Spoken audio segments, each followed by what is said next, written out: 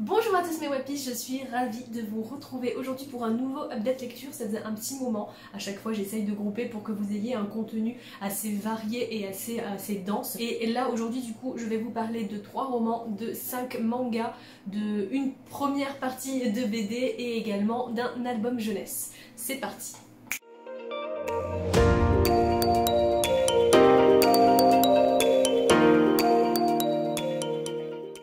que pour cette fois-ci, je vais procéder à l'inverse du dernier update et vous présenter toutes les lectures graphiques à la fin. Donc pour ceux qui adorent ça, ah ben, restez bien jusqu'à la fin pour avoir mon avis sur 5 mangas euh, différents. Et je vais vous parler euh, d'abord des romans avec en premier La chambre de euh, Mamie de Dani Boutini, qui est un livre auto-édité qui m'a gracieusement été envoyé par l'autrice, et très gentiment d'ailleurs, donc que je remercie parce que j'ai passé un bon moment de lecture. Dans cette histoire, on va suivre les aventures de Flora, qui est une, une étudiante qui se retrouve bientôt sur logement, puisque euh, elle décide en fait euh, que son colloque actuel voilà, elle en peut plus, hein. il est assez désordonné, il est assez sale en plus de ça. Bref, alors elle aime beaucoup, mais elle a envie de passer à autre chose, de se consacrer euh, pleinement à ses études et de, pouvoir comme ça trouver ben, peut-être une cohabitation plus, plus stable et plus sereine pour elle.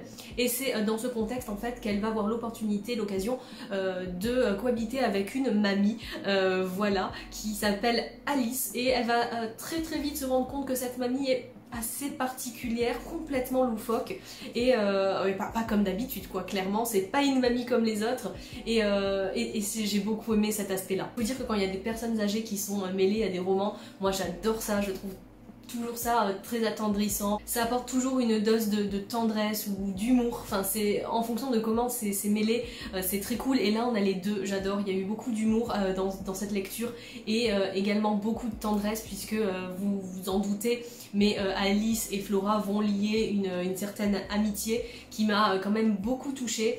Et je trouve que ce livre, il casse un petit peu les tabous des personnes âgées. Vous voyez, il met en valeur comme ça ben, ben qu'on peut tout faire à, tout âge et, c'est pas parce qu'on est une vieille mamie que euh, on ne peut pas fumer de l'herbe, que euh, on ne peut pas s'éclater euh, sur de la musique comme, un, une jeune. Enfin voilà, ça, brise les tabous. Je trouve que voilà, c'est une mamie qui, aime le sexe, qui, vit pleinement, qui voilà qui est absolument divine, vraiment très belle, elle, rayonne et, ça j'ai beaucoup aimé le fait de décomplexer un petit peu cette situation des personnes âgées. Donc ça c'est très bien énoncé dans le livre, j'ai beaucoup aimé cet aspect-là.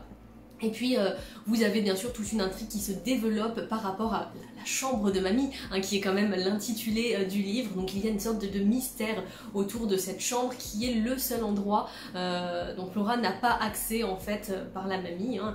Et, voilà, ça, ça tourne autour d'un secret hein, que je ne vous dévoile pas.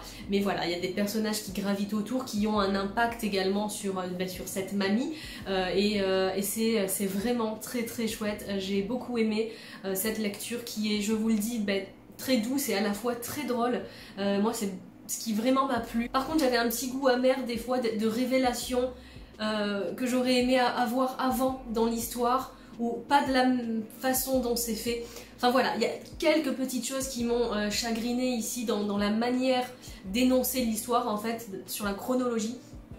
Mais de manière générale, j'ai trouvé que c'était une très jolie histoire et et franchement, je vous conseille de le découvrir si vous aimez vous aussi euh, des, histoires qui mettent comme ça en place des personnes âgées, qui brisent les, codes, qui sont euh, sans tabou, qui sont pleines d'humour. Euh, bah, je vous recommande cette histoire. Alors le point noir pour moi, c'est aussi hein, du, fait que c'est un livre auto-édité, ce qui amène des fois le fait qu'il y ait des mises en page qui sont pas totalement abouties et tout. Et là, moi, ce qui m'a gêné clairement, c'est le fait qu'il n'y a pas de numérotation des pages. Voilà, les pages ne sont pas numérotées et je trouve que bah, ça c'est dommage parce que c'est vrai que quand on est euh, chroniqueur ou pas hein, d'ailleurs, mais même qu'on veut parler d'un livre avec quelqu'un et tout et qu'on dit bah regarde page machin, là on peut pas, on n'a aucune référence, il faut faire des marquages. C'est vrai que du coup vous pouvez pas trop communiquer avec quelqu'un si vous voulez parler de votre lecture, ça c'est dommage, je trouve que ça serait un, petit point à améliorer. Enfin du coup voilà pour cette lecture que j'ai beaucoup appréciée, que j'ai trouvé à la fois dynamique, euh, entraînante et, euh, également bah, pleine d'humour et de tendresse. Donc voilà, il y a des personnages qui sont très bien, le personnage d'Alice, donc de la vieille mamie, euh, est vraiment top, je l'ai trouvée très attachante et bah, je vous le conseille si, euh, c'est le genre d'histoire qui peut euh, vous intéresser, je pense que vous ne serez pas déçus. Ensuite, je vais vous parler d'une de mes lectures que j'avais eues dans le panier lecture. Il s'agit de Ma sœur est une sorcière de Diana Wynne Jones. Donc c'est le premier tome des mondes de Christomancie. Ici j'ai la version poche que je trouve trop jolie. J'adore cette ambiance. Et euh, bon, alors c'était cool, c'est un très bon euh, roman jeunesse, je, ça je conçois, c'est de la fantasy jeunesse, hein, clairement, euh, et, c'est un très bon jeunesse. Pour autant, j'ai pas trop compris toutes les comparaisons que l'on fait avec le monde de Poudlard. Je trouve que ça n'a absolument rien à voir au niveau de l'esthétique, au niveau de, l'histoire. J'ai pas trop compris, mais euh, dites-moi si effectivement vous l'avez lu et que vous y trouvez une ressemblance ou... Enfin voilà, j'ai vu beaucoup de choses en disant que J.K. Rowling n'avait rien inventé avec Poudlard, que tout était déjà là. J'ai pas vu le rapport. Bref, on y suit donc deux jeunes enfants euh, qui sont rescapés d'un naufrage et qui vont être récupérés dans un grand château par le mage Crestomancy, euh, assez énigmatique, assez mystérieux, euh, qui, qui, fait des apparitions je dirais étranges et assez remarquées. Et du coup, on va suivre en fait ces deux enfants qui vont trouver des choses étranges dans, le château, qui, vont être assez intrigués par tout ce qui se déroule. Il y, a, un mystère dans ce château, ils savent pas mettre le doigt dessus, mais il y a quelque chose de palpable, ils sentent que c'est empreint de magie. Il y a une ambiance quand même assez particulière qui se dégage de ce château, ils le sentent, et, euh, et la jeune Gwendoline, donc qui est l'héroïne de l'histoire, va se trouver... Euh, investie de, pouvoir et elle sent qu'il y a des pouvoirs qui, grandissent en elle et le petit euh, qui est plus petit qu'elle, un chat, euh, qui est son petit frère et qui voue un amour euh, inconditionnel à sa jeune sœur, même s'il se chamaille quand même souvent. Et, euh, et du coup, ma sœur est une sorcière, quoi. Le titre est à prendre au sens littéral, puisque moi j'étais partie sur autre chose en fait. Mais voilà, c'est vraiment ma sœur est une sorcière voilà, avec le sens du mot euh, sorcière que l'on peut imaginer à la base vraiment. Et, euh, moi j'étais pas du tout partie dans cette optique-là. Et c'est ça qui m'a plu, ce, détournement. Il y, a des personnages qui s'imbriquent dans l'histoire, qui deviennent des personnages principaux mais qui ne le sont pas au début et que j'ai même préféré au personnage de départ puisque la jeune Gwendoline, on ne la suit plus pendant un moment de l'histoire et euh, donc elle est complètement éclipsée par un autre personnage et euh, j'ai adoré euh, ce moment-là en fait puisque j'ai adoré le personnage qui remplace Gwendoline et beaucoup moins justement l'héroïne principale. Enfin bref, c'est vraiment un, univers très cool et moi ce que j'ai adoré c'est Crestomancy, clairement le mage il est incroyable. autant on le voit pas beaucoup puisque je vous dis il fait des apparitions qui sont, qui sont à la fois peu nombreuses et assez remarquées, assez... très, très très en vue. Et, euh, et du coup ça j'ai adoré parce que il y a toujours un mystère et on se dit bon bah quand est-ce que euh, Crestomancy va apparaître ou quand il se passe un événement assez étrange au château tout ça. Donc ça j'ai adoré parce que ben, ça lui donne un petit peu plus de valeur un petit peu plus de prestance vous voyez. Donc j'ai adoré. C'est vraiment un, un personnage que je trouve très très bien écrit très bien développé même si justement il ne il n'occupe pas toute la place du roman, mais il est là, quoi. Il est bien là, et, euh, j'ai adoré ça. Euh, bien sûr, il y a des événements qui s'enchaînent, c'est assez dynamique comme roman, et je trouve que c'est un très bon jeunesse. Donc, n'hésitez pas à me dire si vous l'avez lu, si vous ne l'avez pas lu, et euh, que vous aimez les romans jeunesse, ben, vous pouvez foncer. Si vous aimez également les romans tournant autour de la magie des sorcières, ça va vous plaire. Et je ne sais pas si je dirais la suite parce que je trouve qu'il finit... il peut avoir cette fin en soi, je trouve que c'est cool et, euh, et, je sais pas si je lirai la suite parce qu'il paraît que c'est le meilleur de la saga, je sais plus combien il y en a, 6 ou 7 je crois et euh, je sais pas du coup, je, pense pas lire la suite clairement. Euh, je m'arrête sur ce petit roman que j'ai euh, bien aimé, que j'ai trouvé très divertissant, très cool, avec une belle ambiance, une, des beaux personnages. Et, voilà, je pense que je m'arrêterai là parce que ça se finit comme je l'espérais, enfin comme je l'espérais. Je trouve que c'est une bonne fin. Donc voilà, je pense que je m'arrêterai là, mais je vous le conseille parce que clairement, je pense que ça peut plaire à, plus d'un. Donc n'hésitez pas. Enfin, est-ce que je vous parle enfin de plongée ou pas Parce que euh, plongée de Christophe Onodibiot aux éditions Folio, euh, ici pour moi. Ce livre, il m'a retourné. Euh, vraiment, il me manquait un soupçon de je ne sais quoi pour que ce soit un coup de cœur absolu, mais ça a été un coup de cœur. Est-ce que vous voyez un petit peu le, degré de coup de cœur que je peux euh, mettre en avant ici? Non, parce que voilà, il y a plusieurs euh, degrés de coup de cœur. Hein. Je pense qu'on est tous d'accord là-dessus, mais euh, celui-ci, on est clairement un. J'ai été transportée, j'ai plongé au cœur de cette histoire. comme rarement, ça m'a vraiment, vraiment trop, trop, trop touché. Ici, on va suivre César dans ses aventures pour retrouver et comprendre pourquoi sa femme est morte. C'est... Là, j'arrive pas à en parler. J'arrive pas à en parler. C'est terrifiant et à la fois c'est si beau. C'est si beau, c'est une histoire qui vous transperce en fait. Clairement, euh, plongez à des personnages incroyables que vous méprisez au plus haut point et que vous adorez. Euh, c'est une histoire d'art, c'est une histoire d'amour, c'est une histoire d'amour du vivant. Il y a tout dans ce roman et il vous fait passer par plein d'émotions différentes. C'est génial. Donc comme je vous disais, on va suivre la vie d'un homme qui va enquêter euh, sur la, disparition de sa femme qu'il a passionnément aimée, qu'il a aimé d'un amour inconditionnel, sans, sans mesure. Et on va essayer de comprendre à travers tous ses souvenirs, tout ce qu'il nous raconte, la rencontre, les premiers ébats, les, premiers amours, les premières déceptions euh, qu'il a eues avec cette femme, leur ascension au niveau professionnel, on va les accompagner dans tous ces détails de vie, également tout ce qui fait qu'ils se sont éloignés, on va les suivre dans toutes leurs divergences. Et, j'ai trouvé que ce livre c'est un, coup de maître en fait, c'est un chef-d'œuvre, tellement c'est bien raconté et, tellement on comprend le point de vue de chacun des personnages qui sont complètement différents, puisque euh, César a, un lourd passif, une expérience assez douloureuse, je, sens tout vous révéler, mais euh, à, tout niveau. Et c'est un homme qui a plein de failles, hein, clairement.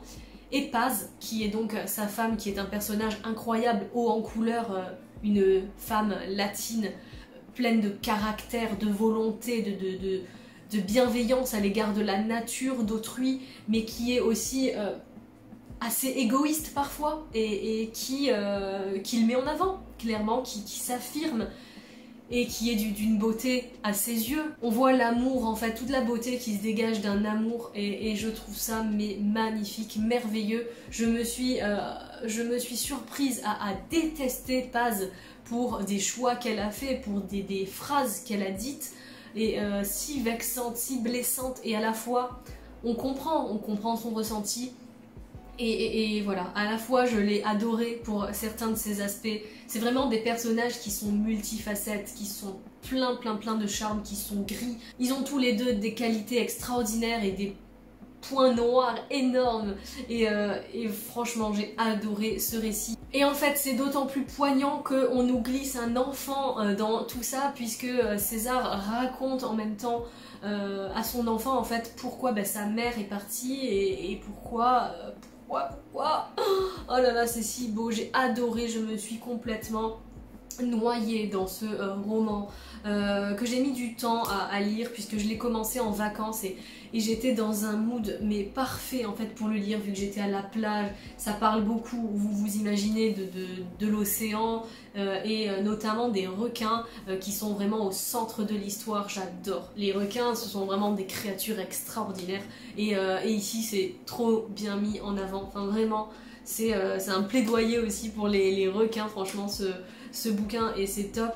On y parle également beaucoup d'art, donc euh, vraiment si vous êtes anti-art, que vous détestez ça, sachez qu'il y a une bonne partie euh, d'art dans ce roman, puisque Paz, la, femme de César et héroïne principale donc du, roman est une artiste. Donc euh, c'est vrai que ça prend énormément de place dans le roman mais c'est génial. Franchement vous vous êtes enchanté par des fois la description de toile ou de photographie toute l'ampleur que prend l'art dans ce roman et, est vraiment fascinante, vraiment. J'ai adoré la partie euh, art dans ce roman et ça m'a complètement enchantée, vraiment.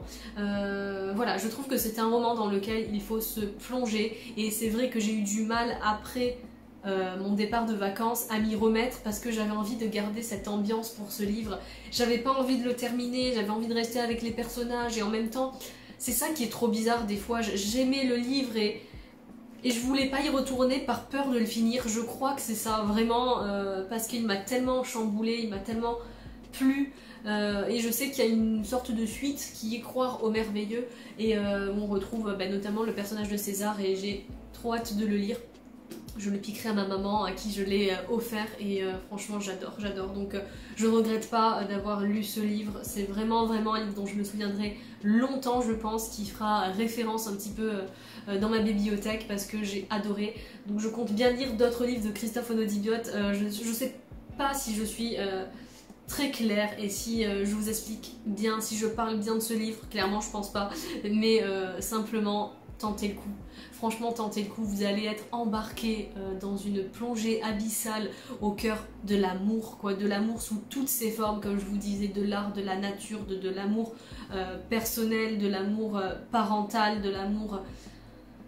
Ah, c'est si beau, c'est vraiment très très beau, c'est bien écrit, voilà, j'ai adoré, j'ai adoré, adoré, donc je ne peux que vous le recommander. Et moi j'ai hâte de me replonger dans une autre lecture de, Christophe Nodibio que j'aime beaucoup. Voilà. Allez, on passe maintenant à la partie graphique puisque je vais vous parler bah, d'abord de la petite BD. Il s'agit de euh, Culotté, donc en fait c'est le livre 1 Partie 1, donc édité chez Folio euh, de Pénélope Bagieux, vous l'avez euh, certainement déjà vu plein de fois.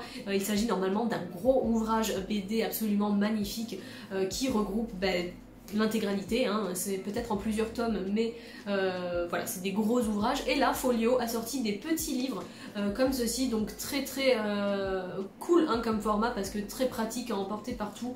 Et du coup, j'ai pu découvrir la première partie de culotté, c'est un format également plus accessible et j'ai trouvé très cool, c'est absolument pas gênant de lire sur ce format, c'est très très agréable même et voilà je me suis régalée. On suit ici le destin euh, fou euh, de, femmes très puissantes, très fortes, qui ont fait avancer les droits de la femme, euh, que ce soit donc au 19e ou au 20e siècle. On se base sur plein de périodes différentes. Et outre le fait qu'il soit profondément féministe, c'est un ouvrage qui, je trouve, fait preuve de beaucoup de bienveillance et j'ai adoré. Franchement, ces petites histoires m'ont trop plu. J'ai adoré elle. Ah ouais, elle, j'ai trop aimé. Je trouvais ça trop beau l'histoire de Josefina Caroline Petronella Hubertine Van Afferden euh, que je connaissais pas du tout et euh, voilà qui va, qui va créer un lien en fait euh, même après la mort et bah, je trouve ça magnifique. Il y a eu plein plein plein d'histoires géniales et franchement j'ai hâte de lire la deuxième partie que je me procurerai peut-être dans ce format également. Et en tout cas c'est très chouette c'est à recommander à tout le monde à tout âge parce que c'est génial ça peut vous apprendre beaucoup de choses et c'est top. J'adore Ensuite, je vais vous parler de cet album jeunesse que j'ai adoré. Il s'agit de L'étrange réveillon de Bertrand Santini et Lionel Richerand. J'ai adoré cette histoire. On suit l'histoire de ce petit garçon. Donc ses parents, quand ils ont disparu, lui ont légué une fortune immense. Mais euh, ce qui ne suffit pas à combler euh, bah, les désirs de ce petit garçon qui s'ennuie terriblement dans sa grande demeure. Il ne sait pas quoi faire ni de cet argent, ni de tout ce temps et il s'ennuie profondément. Il décide donc lors de la nuit du réveillon en fait de repasser cette nuit avec les défunts. Et j'ai trouvé ça génial, c'est trop beau, euh, c'est très, euh, ambiance Tim Burton, hein, clairement, euh, vous pouvez le voir, rien qu'au niveau des dessins, ça fait vraiment très ambiance Tim Burton, et au niveau de l'histoire également, franchement ça serait trop un petit court métrage à être adapté par Tim Burton je trouve, c'est très très beau, voilà, c'est une histoire pleine de douceur également, pleine d'amour hein, pour euh, la famille, une histoire sur le deuil. Euh, voilà, bah, je vous en dis pas plus parce que c'est quelque chose qui se lit très rapidement. Vous voyez que le texte prend très peu de place et que c'est surtout euh, le graphique qui est mis en avant dans cet album. Hein. C'est souvent le cas dans les albums justement. Et voilà, je vous, vous montre un petit peu là, ici, la réunion de famille où les défunts sont revenus. Et on suit donc les états d'âme de ce petit garçon qui pour une nuit euh, va retrouver euh, sa famille défunte et c'est trop mignon. Ensuite, niveau manga, euh, je me suis fait plaisir. J'ai d'abord lu ben, le tome 2 de En scène. Je vous en ai parlé, vous pouvez retrouver ma chronique dans un update lecture. on y suit l'histoire de Kanade qui est une jeune, une petite fille hein, qui souhaite devenir ballerine et qui va tout mettre en œuvre pour devenir ballerine. Ici, on la suit dans le début d'un concours et euh, j'ai trouvé ça trop bien. C'est toujours trop trop cool. Franchement, j'adore cette saga et euh, j'ai trop hâte de me procurer la suite. Euh, bah malheureusement quand j'ai voulu passer ma commande sur Bazar du manga il n'y avait pas la suite, il manquait le tome 3 et 4, enfin je pouvais que prendre à partir de 5 donc ce qui était assez dommage donc bah, j'attends, je me suis mis une petite alerte et quand le tome 3 sera disponible je passerai commande parce que franchement j'ai adoré, je trouve que les dessins ils sont très classiques dans le genre mais ça fonctionne parfaitement avec le, le postulat et le sujet du, manga, donc euh, j'aime beaucoup beaucoup. Je vous le conseille, que vous aimiez ou pas la danse classique, si vous êtes curieux, foncez, c'est trop trop bien. Ensuite, ma déception manga de ces derniers temps, c'est Dodoma, clairement aux éditions Komiku, que j'adore, que j'adore, de Jen Shiraishi, et franchement j'ai été très déçue. On y suit dans cette histoire le destin de Shino et Mana, qui sont frères et sœurs, et qui vont être complètement bouleversés par l'attaque de leur cité Orbis, cité très très puissante, hein, normalement édifiée en pierre, enfin voilà, quelque chose de, solide, euh, voilà, va être complètement attaqué par un peuple étranger et absolument dévasté. Donc on est clairement là ici dans du euh, fantasy post-apocalyptique, euh, donc ça avait tout pour me plaire, clairement, j'aime beaucoup ce genre de récit normalement. Et clairement, j'ai eu l'impression que chacune des pages était la même, il ne se passe absolument rien. J'ai trouvé que c'était une, vraiment une, entrée en matière dans un manga catastrophique puisque il ne se passe rien à part cette attaque donc on, a multiples planches euh, de euh, où est ma sœur, euh, les, pierres qui tombent, les trucs dévastés, voilà, enfin la peur. Et j'ai l'impression que chaque planche est la même, vraiment. et ça qui m'a vraiment posé problème, bien que les dessins soient magnifiques. Hein, clairement, on a des planches qui sont très belles, mais j'ai l'impression que c'est toujours les mêmes, quoi. Voilà. C'est vraiment, on appelle ma soeur, oh je l'ai retrouvé, non, il est là, il est blessé, ouf. C'est une intrigue qui m'a pas mobilisée, clairement. J'ai trouvé que c'était lent, que c'était. Euh, malgré le fait que bah, il y a quand même de l'action en plus, c'est ça le problème, c'est que on voit que même dans, l'esthétique des planches, il y a, un désir de, montrer de l'action, mais ça l'a pas fait du tout pour moi, ça a été une grosse déception parce que je m'attendais à aimer, hein, même si les avis euh, de ce bouquin ne sont pas fous, bah, je m'attendais à aimer, euh, vu que c'est une petite saga en trois tomes, je m'étais dit bon ça va être cool et tout, un petit, euh, petit fantasy euh, post-apo en, manga, c'est assez chouette. mais en fait non, ça l'a pas du tout fait et je rejoins les avis bah, qu'on voit souvent sur ce manga qui sont pas fous effectivement. Donc voilà, je m'en sépare, clairement. Par contre, ça n'a pas du tout été le cas de euh, ce premier tome de Hajin, euh, que j'ai adoré, vraiment. Je vous parle donc de euh, Hajin de Gamon Sakurai aux éditions Glénat. Et waouh, mais quel dynamisme Ça faisait longtemps que j'avais pas lu un premier tome qui était si haletant, qui était si prenant. Ça ne s'arrête pas une seule seconde. pour faire un bref résumé, on y suit donc un jeune garçon qui va en fait 17 ans. ah non, pas du tout un lycéen. 17 ans, c'est le temps de... Bref, on y suit donc un, jeune lycéen qui meurt devant ses camarades de classe et qui va euh, bien renaître euh, de ses cendres et qui va revivre quasi instantanément et on sait euh, que c'est lié aux créatures Ajin puisque on dit que dans un premier, le premier immortel fit son apparition sur un champ de bataille en Afrique et d'autres suivirent bientôt de manière assez sporadique, spontanée. Mais voilà, ce sont des êtres immortels qui sont pourchassés et euh, dont on ne sait pas grand chose. Et donc ce lycéen qui se réincarne comme ça, enfin qui renaît, eh bien c'est la caractéristique des Ajin. Il est donc embarqué mais immédiatement dans une course effrénée donc pour échapper à la, population entière qui se met à ses trousses. Et là pour le coup c'est vraiment un premier tome qui fonctionne parfaitement je trouve, il est vraiment génial parce que l'action ne s'arrête pas une seconde, on est pris dans le truc, c'est vraiment cool. Les dessins sont somme toute classiques également, mais ça fonctionne parfaitement. J'ai adoré, vraiment adoré, j'ai trop trop hâte de lire la suite. Pareil, euh, même dans les, le vlog que je vous faisais euh, en librairie et tout, bah, je cherchais le tome 2 et je, je trouvais pas, il y avait toujours le tome 2 manquant, il y avait 3, 4, 5, 6, 7, 8, 9, 10 mais le 2 n'y était pas, ça m'énerve, donc je cherche désespérément le tome 2 et euh, bah, j'espère pouvoir continuer parce que j'adore, j'adore. Et pour vous dire, j'ai commencé à lancer euh, le premier épisode de la série qui a été adapté, euh, qui est dispo sur Netflix et j'ai pas du tout aimé. J'ai pas du tout aimé que ce soit les graphismes qui, sont des, mangas particuliers, une sorte de mélange 3D 2D que j'apprécie pas forcément. Et du coup, j'ai pas du tout apprécié, ça m'a conforté dans l'esprit de poursuivre quelque part plutôt euh, le manga et ne pas regarder l'animé du tout. Voilà, donc je ne sais pas ce que je ferai au final, mais euh, j'ai trop trop trop envie de poursuivre. C'est un tome 1 excellent.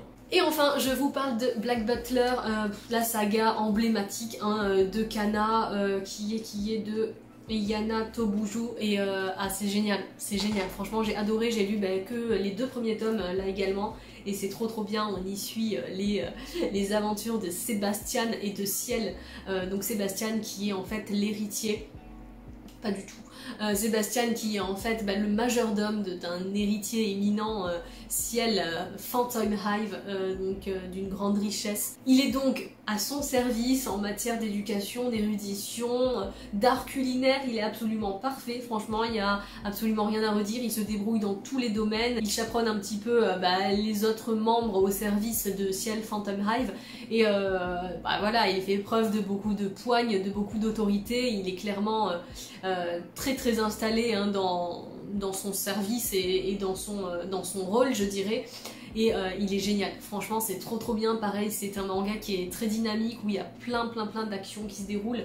Et, euh, bah franchement, c'est trop bien de découvrir les aventures de, Sébastien puisque en fait, il s'avérait qu'il soit bien plus puissant que ce qu'il en a l'air au tout début. Et il y a également bah, Ciel, euh, je sais pas si, attendez, parce que à chaque fois c'est Sébastien sur la couverture, c'est quand même le personnage principal, mais Ciel il est trop cool, moi j'adore le personnage de Ciel. Qui est le personnage aussi, j'aime trop son. Son là. Lui là, il est euh, franchement il est trop génial, les personnages sont top. J'ai eu un petit peu plus de mal avec quelques-uns des personnages secondaires qui sont euh, effectivement qui font partie en fait de, l'effectif euh, du château et j'ai eu un peu plus de mal, je les trouve un peu bêta, un peu lourds en fait, ils apportent de la lourdeur au manga, c'est dommage, mais apparemment ce que j'ai pu en, voir et, les retours de certains d'entre vous quand j'en ai parlé sur Instagram, eh bien euh, ils deviennent plus intéressants et ils ont un rôle plus, euh, plus important au cours de l'histoire. Euh, ils sont pas là juste pour divertir le truc et faire un peu des blagues bidons, donc voilà, j'ai hâte de voir ça, c'est vraiment une saga que je vais continuer aussi, j'ai adoré, et il y a également un animé sur Netflix dispo qui apparemment est beaucoup moins bien également. Donc voilà, euh, je, vous laisse me dire tout ça en commentaire si vous avez un avis sur tous ces mangas et euh, bah, également sur leur adaptation hein, si vous les avez vus. Donc n'hésitez pas à me dire parce que je suis intéressée euh, partout. Hein. Moi, animé, manga, tout, tout me plaît. De toute manière, je suis pas bien difficile concernant les, formats d'animation et j'adore l'animation japonaise. Donc voilà, je suis curieuse de savoir si l'animation, l'animé de Black Butler vaut le coup, clairement. Et voilà mes Wapis, clairement je vous ai présenté que des lectures que j'ai appréciées ces derniers temps. Euh, à part Dodoma, franchement, euh, ça a été euh, que des bonnes lectures avec plus ou moins un niveau de coup de cœur élevé, hein, vous l'avez vu pour plonger clairement, ouais ça a vraiment été un, coup de cœur. Franchement pas déçu, des bonnes lectures récemment et ça, ça a continué par la suite donc voilà je suis ravie. Je vous retrouve très bientôt pour une prochaine vidéo, il y a pas mal de choses qui arrivent sur la chaîne là jusqu'à fin décembre donc j'espère que ça vous plaira et puis, puis on se retrouve très bientôt. Vous gardez bien en tête surtout, n'oubliez pas que les passions n'ont pas d'âge alors vivez-les à fond. Je tous de gros gros bisous mes wapis. Ciao tout le monde